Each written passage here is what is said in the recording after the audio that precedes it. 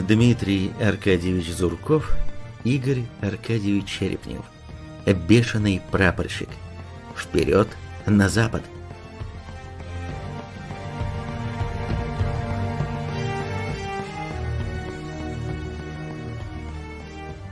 Авторы искренне благодарят участников литературных форумов вихре времен и сам издат, оказавших своими замечаниями и советами неоценимую помощь и особенно Светлану, Екатерину и Илью Полосковых, Элеонору и Грету Черепневых, Ольгу Лащенко, Веру Коровину, Анатолия Списивцева, Владимира Геллера, Игоря Мармонтова, Виктора Дурова, Виталия Сергеева, Александра Колесникова, Владимира Чермянского, Андрея Метелева и Валерия Дубницкого.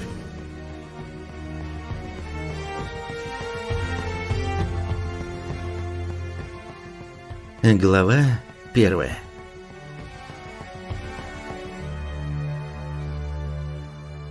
Вокзалы всегда остаются вокзалами, как бы они внешне не различались. Всегда и везде одно и то же. Суета, толкотня, гомон многолюдной толпы и ощущение времени, быстро утекающего, как вода сквозь пальцы.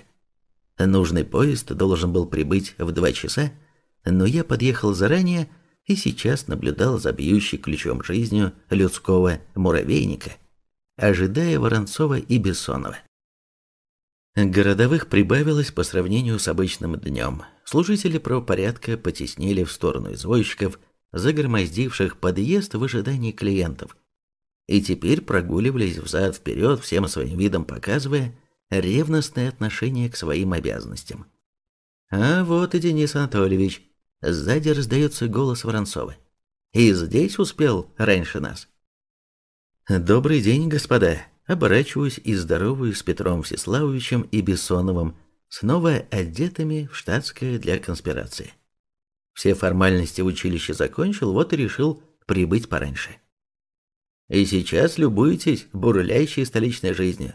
Улыбаясь, дополняет Алексей Алексеевич, указывая на какую-то дамочку, безуспешно пытающуюся вместе с нянькой успокоить свое горячо любимое и громко ревущее чадо. Вы правы, надо же набираться впечатлений перед возвращением на фронт. Наш разговор прерывает шум подъезжающих автомобилей. Три грузовика с красными крестами на тентах, возглавляемые легковым авто. Клаксонами разгоняют кучки пешеходов и зевак и паркуются прямо напротив центрального входа. Блюстители порядка создают импровизированное оцепление, объясняя народу руками и голосом «Сюда не ходи, Туда ходи». В легковушке сидит упитанный дядечка в фуражке офицерском кителе без погон, с большой повязкой красного креста на рукаве. Аккуратно подстриженная бородка, пенсне на носу. Судя по тому, как засуетились его попутчики, большая шишка. Об этом человеке мы вчера говорили. Особо уполномоченный Рокко Александр Иванович Гучков собственной персоной. Негромко поясняет Алексей Алексеевич не упустит своего, любит на публике поораторствовать. То-то, я смотрю, уже куча репортеров нарисовалась, блокнотики свои с карандашками достали, топчутся, как халдеи в кабаке при оформлении заказа. О, а вот и фотографы подоспели аж целых три, бегают, ищут место для наилучшего ракурса. Ню-ню, дерзайте, акулы пера. Позади толпы, в которой мы очутились, снова раздаются звуки клаксонов и язычные крики «Раздайсь!».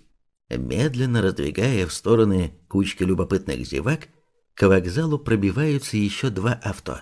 В одном, в окружении двоих казаков-конвойцев, в машине сидят их императорские высочества, великие княжны Ольга Николаевна и Мария Николаевна. На старшей, привычная для нее форма сестры Милосердия, под накинутым на плечи пальто. Ее младшая сестра в таком же синем платье, но без фартука и косынки. Во втором авто небольшая свита в генеральских и полковничьих погонах, и как раз в этот момент раздается гудок прибывшего поезда. Из машины выскакивает эдакий колобок в мундире, бежит к Гучкову, разговаривает с ним минуты две, затем возвращается к великим княжнам и что-то объясняет, виновато разводя руками. Обе девушки растеряны и, похоже, не знают, что им делать. Ольга машинально смотрит на людское столпотворение, взгляд неузнаваемо скользит по мне, но затем через пару секунд возвращается. На лице княжны написано удивление какой-то совсем по-девчоночьи мучительно красноречивый призыв о помощи, но ни жестом, ни голосом позвать меня не решается. Ну, понятное дело, правила приличия, ёптить. И полковника Свицкого посылать за штабс-капитаном сплошной мавитонс. Придется проявить инициативу, в конце концов, она шеф моего батальона. Значит что? Правильно, почти прямой и непосредственный начальник. Имею полное право подойти и доложиться. Прошу простить, господа, но, похоже, мне придется вас покинуть. Поворачиваюсь к своим спутникам. Денис Анатольевич, в случае чего мы вас поддержим, понимающе улыбается Воронцов. Я надеюсь, обойдется без стрельбы и взрывов? Постараюсь, Петр Всеславович, но гарантировать не могу. Сие не только от меня зависит. Принимаю шутку и улыбаюсь в ответ. Хотя в каждой шутке обычно бывает довольно большая доля правды. У меня и люгер в кобуре, и старый добрый лефош в кармане. Не считая шашки и традиционно заголеничного оборотня. Так, на всякий случай, который, как известно, может быть очень разным. Пробираюсь через любопытствующих, отодвигаю с дороги не посмевшего возражать городового и подхожу к автомобилю под прицелом взглядов лейб-казаков и свитских из второй машины. А дальше все по уставу, руку к фуражке и... Здравия желаю, ваши императорские высочества. Денис Анатольевич, вы здесь? Каким образом? Княжна до сих пор радостно удивлена. Сдавал экстерном экзамены за курс военного училища. Ваши? Денис Анатольевич, вы забыли? Для вас и остальных офицеров батальона обращение без титулования. Просто Ольга Николаевна. Потом княжна вспоминает про этикет.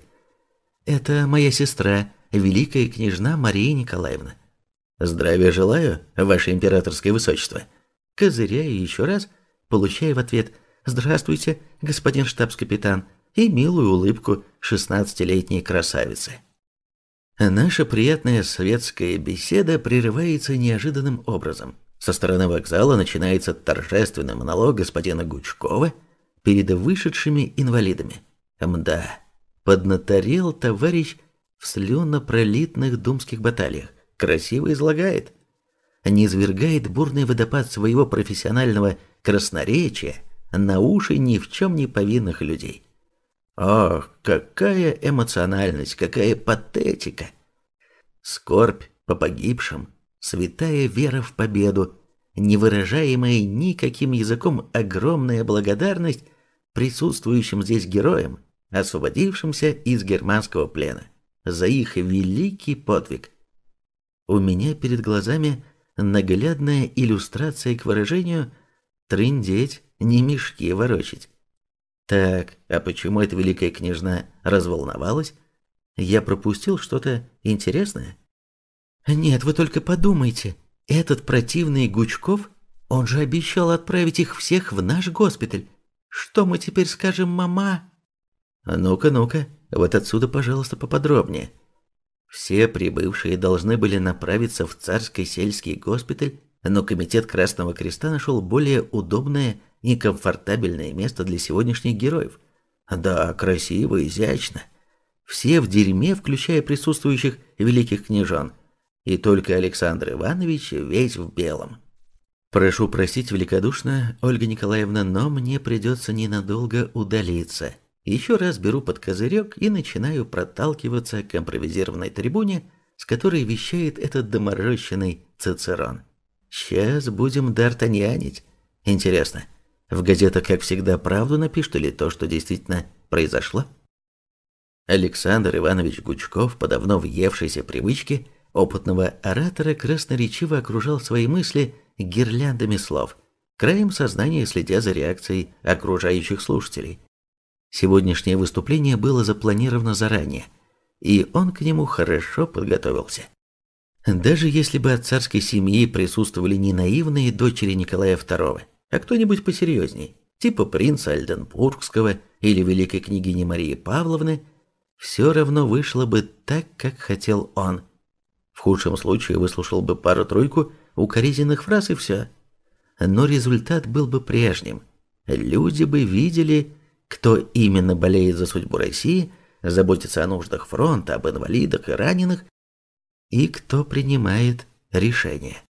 Вобрав воздух в легкие, чтобы продолжить свою пламенную речь, Александр Иванович осекся на полуслове из-за резкого и внезапного кваканья автомобильного клаксона, раздавшегося за спиной. Обернувшись, он увидел возле водителя незнакомого штабс-капитана с георгиевской шашкой и целой колодкой орденов на груди, среди которых мельком разглядел и пару иностранных. Среднего роста худощавого телосложения – с аккуратными усиками и насмешливым взглядом. А далее Александр Иванович просто впал в ступор, потому что никто и никогда, наверное, не вел себя так ни с кем из рода Гучковых. Водила в машине до того заслушался своего патрона, что и не заметил, как я дотянулся до резиновой груши и немного побибикал. Оратор или оракул, не знаю, как правильней назвать, заткнулся на полусловии чуть не грохнувшись на мостовую, повернулся посмотреть на источник помех. На мордочке видно выражение недоумения, постепенно переходящее в праведный гнев. Ну, сейчас мы этот процесс ускорим в пределах дозволенного. Господин хороший, вам случайно не приходилось слышать старую русскую поговорку о том, что соловья баснями не кормят? Так, народ заинтересовался, репортеры ушки навострили, продолжаем клоунаду. Или вы считаете, что раненым и инвалидам, да на голодный желудок интересно слушать ваше краснобайство? Господин штабс-капитан, что вы себе позволяете? Кто вы такой? Отрыбь прошла, и Александр Иванович, дав выход своему возмущению, решил поставить взорвавшегося офицера на место – Ответ был настолько неожиданным, что он снова не нашелся, что сказать. Такого не может быть. Совсем недавно, желая проверить достоверность слухов о возросшей популярности в армейской среде некоего штабс-капитана Гурова, Александр Иванович по своим каналам дал указание собрать всю информацию об этом человеке, дабы решить, насколько можно будет его использовать в грядущих событиях. И вот он тут, как чертик из табакерки, появляется в самый неожиданный момент. И, судя по всему, настроен довольно враждебно. Задумавшийся на секунду Гучков услышал последнюю фразу штабс-капитана и понял, что все окончательно пошло не так, как планировалось. «Штабс-капитан Гуров Томский, к вашим услугам, господин особо уполномоченный Красного Креста». «И чего ты орешь, как потерпевший? Кто я такой? Пожалуйста, Опять дядька завис в перезагрузке. И в толпе какое-то оживление, особенно там, где стоят с гарантированной неприкосновенностью германский чинуша и сопровождающие его сестры милосердия. Одна особенно разволновалась, так и сверлит взглядом, скоро дырка появится. Пора заканчивать этот балаган. Господа георгиевские кавалеры, от имени великих княжон Ольги Николаевны и Марии Николаевны имею честь сообщить, что вам необходимо проехать на Царско-сельский вокзал для следования в госпиталь, где вы пройдете обследование и необходимое лечение. Снова обращаюсь к Гучкову и Ко, не в силах удержаться от язвительного замечания. Интересно, а как вы, господа, собирались помогать людям с костылями залезать в грузовые авто? Или сей момент не заслуживает вашего высокого внимания? Поворачиваюсь в сторону извозчиков, наслаждающихся бесплатным зрелищем, и, перекрывая людской гомон, ору командным голосом. «Эй, залетные! Сюда рысью по одному! Живо!» В конце концов, сам рассчитаюсь, если что, денег хватит. Дергаюсь в направлении лихачей и замечаю, что Ольга Николаевна что-то сказала давишнему колобку, и тот шустренько катится навстречу таксистам, на ходу пытаясь попасть рукой в карман. Пока раздумываю, стоит ли составить ему компанию, ловлю в спину фразу Гучкова, произнесенную так, чтобы услышал только я, ну и, может быть, личный водила. Ты об этом еще пожалеешь. Оборачиваюсь и пристально смотрю в глаза, где видна плохо скрываемая злоба. Тебе, гад, сейчас мозги вправить или потом, при случае. А может сразу пристрелить, чтобы не мучился, обеспеченный старостью. Кавалькада из десятка пролеток, возглавляемая автомобилями великих княжон и их свиты, убывает на вокзал. Но прежде Ольга Николаевна передает мне обязательное к исполнению приглашение на чаепитие завтра в 17.00, мотивируя тем, что мама давно хотела познакомиться с героем, спасшим ее дочурку. По дороге домой Александр Иванович размышлял о сегодняшних событиях, логически оценивая все произошедшее как с отрицательной, так и с положительной стороны. Но все-таки какая-то мелкая деталь, оставшаяся вне его внимания, не давала ему покоя, что-то он упустил. Откинувшись на спинку сиденья, Гучков закрыл глаза, отрешился от умозаключения и попытался визуально вспомнить всю цепочку событий и почти сразу же понял, что его беспокоило. Взгляд, брошенный штабс-капитаном на прощание. В тот момент, когда была упущена инициатива, Гучков, почти потеряв контроль над собой, набрал в легкие побольше воздуха, дабы начальственным рыком поставить на место этого бог знает что возомнившего себя офицеришку, и тем самым мгновенно восстановить в глазах толпы и своей свиты несколько пошатнувшийся авторитет. Но инстинкт самосохранения, который не раз выручал его во всех жизненных перипетиях, помимо воли сдержал на языке приготовленную гневную тираду, а память услужливо подкинула воспоминания давно минувших дней. Очень давно, еще во времена Англо-Бурской войны, Александр Иванович видел такие взгляды. С таким же прищуром и также абсолютно равнодушно бурские стрелки смотрели на англичан – выбирая, в какое именно место всадить пулю. И точно такие же глаза были сегодня у этого штабс-капитана. Гучков энергично помотал головой, отгоняя и сегодняшнее видение, и воспоминания из далекого прошлого, и устроился поудобней на сиденье. Да, с этим Гуровым надо срочно что-то решать.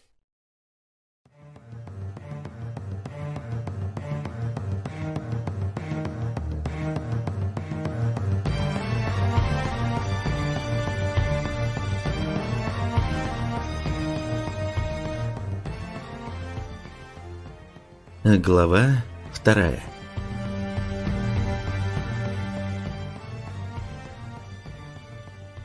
Учитывая, что как-то невежливо будет опаздывать на чашку чая к августейшим особам, приехал в царское село с хорошим запасом времени, который трачу на то, чтобы, не торопясь, прогуляться сначала по бульварной, затем по церковной улицам, на указанном перекрестке повернуть направо и очень быстро оказаться возле изящной чугунной ограды, отделяющей место обитания царской семьи от остального мира.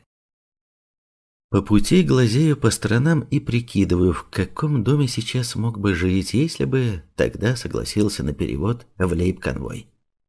Поразмышляв над тем, что с переездом потерял бы всякую свободу действий и стал бы одним из бесконечных маленьких винтиков большого механизма – пришел к выводу, что ни один из особняков мне не нравится. У ажурных ворот красивого чугунного литья, которыми заканчивается дорога, меня опускают с небес на землю. Весь насквозь официальный гвардии поручик узнает цель прибытия, просит предъявить удостоверение и, вытеснив из традиционной черно-бело-полосатой будки молодцеватого унтера с винтовкой, связывается с кем-то по телефону. Ну, это нам до боли знакомо. КПП, пропускной режим и все остальное в том же духе. Закончив разговор, поручик возвращает мой документ и холодно, корректным тоном предлагает подождать сопровождающего. Пока измеряю шагами пространство перед воротами, вспоминаю пересказанный доктором Голубевым вариант посещения царского дворца Алексеем Максимовичем Пешковым-Горьким – и невольно улыбаюсь той нелепице, которую довелось тогда услышать. Ладно, если бы смешно было, проскочила бы за анекдот, а так... Очень похоже на либералистические фантазии про кровавую гыбню и 100-500 миллионов лично замученных.